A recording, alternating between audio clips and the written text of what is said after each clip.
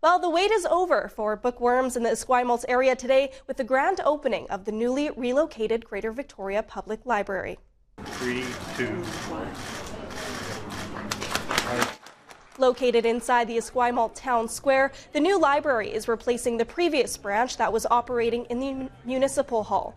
The modern design features reading areas for all ages, public computers, study rooms, and much more.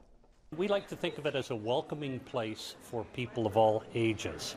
And so this library has been specifically designed to include spaces for children, where we've got small furniture, low tables, and our bookshelves close to the ground, surrounded by larger furniture for adults who are with the kids.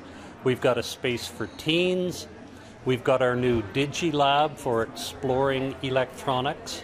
Um, we have tried to build it as flexibly as we possibly can uh, so that it can welcome people of all abilities.